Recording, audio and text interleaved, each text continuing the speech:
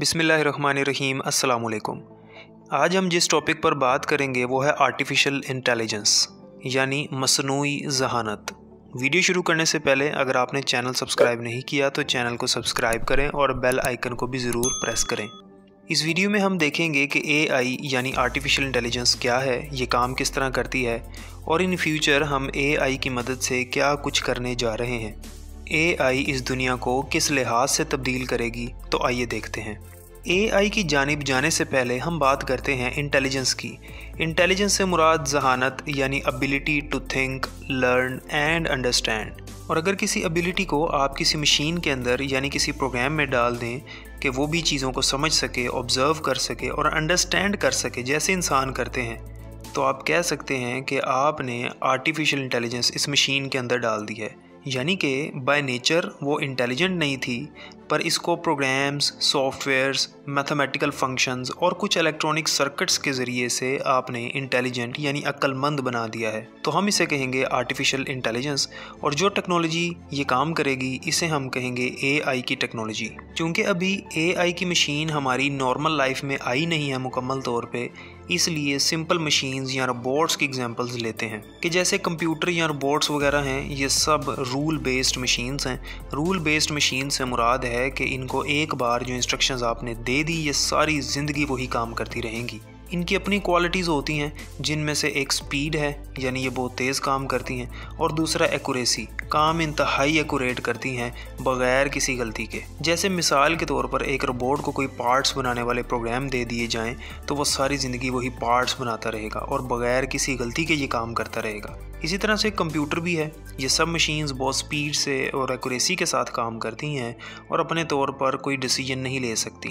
اب انسان کے ذہن میں یہ خیال آیا کہ وہ مشین میں بھی یہ صلاحیت پیدا کر دے کہ وہ خود فیصلہ کر سکے سیلف ڈیسیجن کی پاور اس کے اندر ہو سکے اور آرٹیفیشلی انٹیلیجنس کو پروڈیوس کر سکے۔ اے آئی کو یوں بھی کہا جا سکتا ہے کہ کمپیوٹر سے انسانی دماغ کا کام لینا۔ اے آئی کی ایک مثال ہم دیکھتے ہیں جو کہ بہت ہی زبردست ہے۔ جیسے کہ جہازوں میں آٹو پائلٹ بھی ایک اے آئی کی بہترین اگزامپل ہے اور اسی کی بدولت کام کرتی ہے۔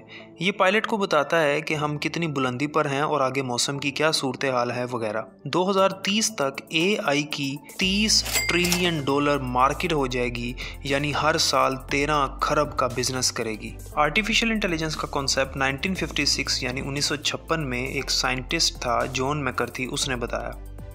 جون میکرتھی کو the father of research in artificial intelligence بھی کہا جاتا ہے۔ جون میکرتھی نے بتایا کہ کیا ایڈوانسمنٹس ہو سکتی ہیں آرٹیفیشل انٹیلیجنس میں۔ اب جیسے ہی اے آئی کا لفظ ہم سنتے ہیں، ہمارے ذہن میں فوراً روبوٹس آتے ہیں کیونکہ ہم سوچتے ہیں کہ وہ انسان کی طرح دکھتے ہیں۔ تو صرف انہی کے اندر اے آئی کو یوز کیا جاتا ہے۔ لیکن ایسا بالکل بھی نہیں ہے۔ ہم بہت سی چیزوں میں اے آئی ابھی بھی استعمال کر رہے ہیں، جیسے ہمارے فونز ہیں۔ اس میں کچھ اپلیکیشنز ہوتی ہیں۔ اس کے علاوہ گوگل کی سرچ میں اے آئی کو یوز کیا جاتا ہے اور فیوچر میں ڈرائیور لیس کارز ہوں گی، اس میں بھی اے آئی کا استعمال کیا جائے گا۔ اے آئی کے فائدے ہمیں انڈسٹری لیول پر بھی ملیں گے کہ انڈسٹری لیول کا کام بہت آسان ہو جائے گا، کیونکہ روبوٹس میں اے آئی استعمال کی جائے گی۔ تو وہ انسان سے بہتر کام کریں گے۔ اور انڈسٹریز کے اندر جو کام انسان کر رہا ہے، وہ روبوٹس کیا کریں گے، تو زیادہ ایکوریسی اور سپیڈ کے ساتھ یہ کام کیا جائے گا اور پروڈکشن ریٹ بھی پہلے سے زیادہ بڑھ جائے گا۔ اسی طرح سے اگر ہم ایک اور فائدہ اس کا دیکھیں، تو میڈیکل کی فیلڈ میں ہے۔ میڈیکل کے لوگ اے آئی کا استعمال کر کے ایسی ڈیوائسز بنائیں گے، جس سے ہمارے اندر پیدا ہونے والی بیماریوں اور خرابیوں کا پتہ چل سکے گا۔ آج بھی کافی حد تک یہ کام ہو چکا ہے۔ ڈرائیور لیس کارز جس کا ہم نے پہلے ذکر کیا، ان کے ذریعے سے ایکسیڈنٹ سے بچا جا سکے گا کیونکہ مشینز انسانوں سے کئی گنا زیادہ بہتر فوکس کر سکے گی۔ ان سب فائدوں کے ساتھ ساتھ ایک نقصان یہ بھی ہے کہ جیسے ہی آرٹیفیشل انٹیلیجنس مکمل طور پر بنا دی جاتی ہے، تو ہم ہر کام روبوٹ کے ذریعے سے کروائیں گے۔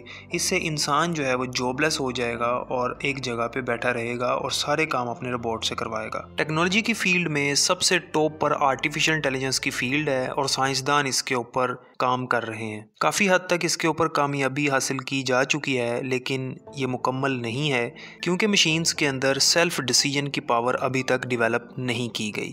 اب اگر مشینز کے اندر سیلف ڈیسیجن کی پاور آ گئی تو وہ مکمل طور پہ انسان کی طرح کام کریں گے۔